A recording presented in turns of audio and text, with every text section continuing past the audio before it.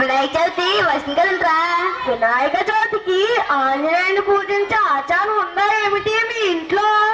ఏమి? అలా అడుగుతున్నా ఈ వినాయకుడి విగ్రహాన్ని చూడు ఒకసారి ఎట్లా ఉందో.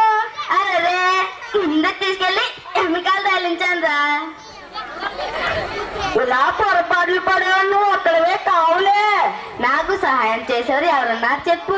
ఎవరు లేకపోతే ఈ సామెత ఎలా వస్తుందిరా? ఏంటి ఆ సామెత చెప్పు వినిపించు? వినాయకుని చేస్తుంటే వానరమయ్యిందంట. నువ్వు చెప్పకపోతే నేను చూసుకోకపోతున్నామో అది సరేలే కానీ శ్రీరంగం ఈ చెవులేంట్రా జాస్తి ఉన్నాయి. అలా లెక్క పట్టే చేశాను రా. ఆ లెక్క ఏమిటో చెప్పు మేము వింటాం. అగజాన పద్మార్గం. అంటే గణపతి జాన చెవులు ఉంటాయని బాగుంది తెలుసా? మరి ఈ తొండవేంట్రా గజం పొడవుంది? అది కూడా లెక్క పట్టే చేశాను రా. ఆ లెక్క ఏమిటో చెప్పు మేము వింటాం. గజానాన మహర్నిషం అంటే గణపతి గజం పరందంద ఉండాలని సారాంశం.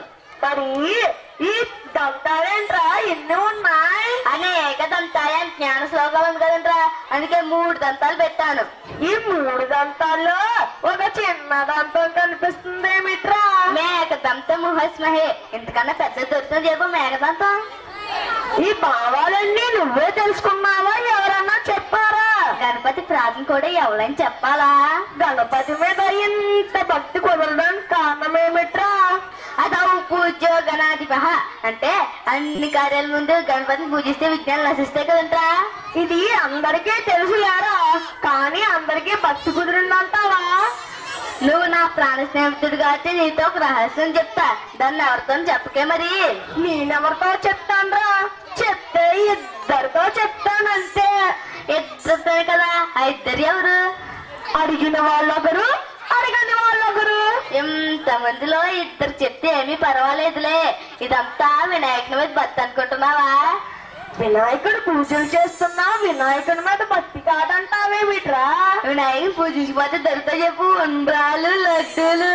అంటే ఈ భక్తి అంతా ఉండ్రాలు లడ్డూల మీద నీ భక్తి వినాయకుడి మీద కాదా? నువ్వు ఏదైనా అనుకో సురేష్ ఉన్న రహస్యం నీతో చెప్పేసా. నీకు తగిందే నీ బుద్ధి నీ బుద్ధికి తగిందే నీ భక్తి. భలే కుదుర్చాలా వినాయకుడు. మంచిది వెళ్ళొస్తా. అదండి మా వినాయకుడి మీద భక్తి కాదంట వంటల మీద లడ్డూల మీద భక్తి అంట. బాగుంది.